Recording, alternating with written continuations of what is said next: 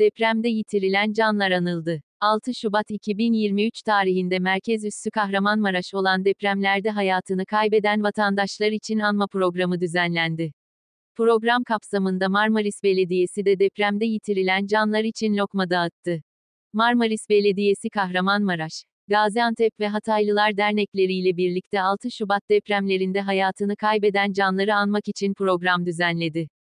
Atatürk Meydanı'nda düzenlenen anma programına Marmaris Belediye Başkanı Mehmet Oktay, dernek başkanları, siyasi parti temsilcileri ve vatandaşlar katıldı.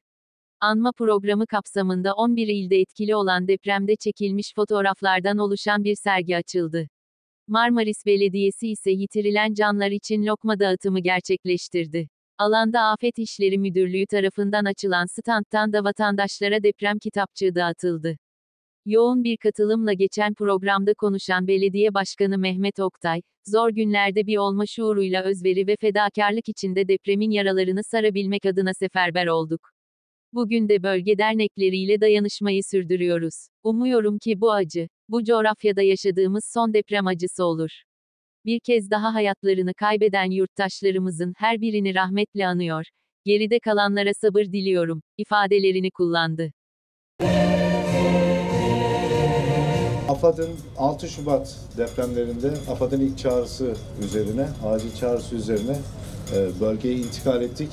Ve bu bölgeye intikal edişimiz esnasında o çok büyük kaotik e, ortamdan etkilenen birçok e, depremzede, e, birçok e, depremzede yakınıyla ilgili çok tabii trajik olaylar yaşadık ama tabii bunlardan bahsetmek istemiyorum bugün.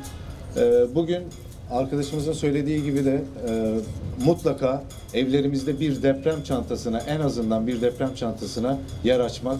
Çünkü bu deprem çantası bizim ilk 72 saat dediğimiz o kritik zaman dilimi içerisinde sizin kendi kendinize yetebilecek seviyede aksiyon almanıza e, olanak sağlayacak. Buradan bahsetmek istiyorum. E, depremin esnasında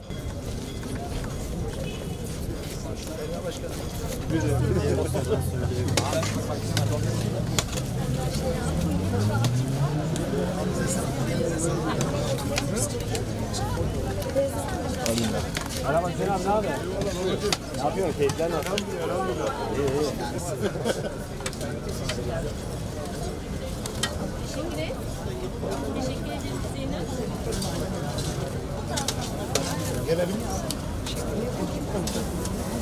var. Teşekkür başkanım.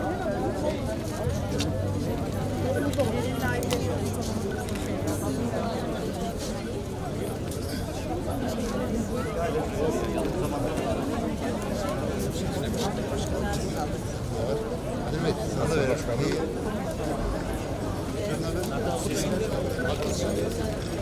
Sağ olun.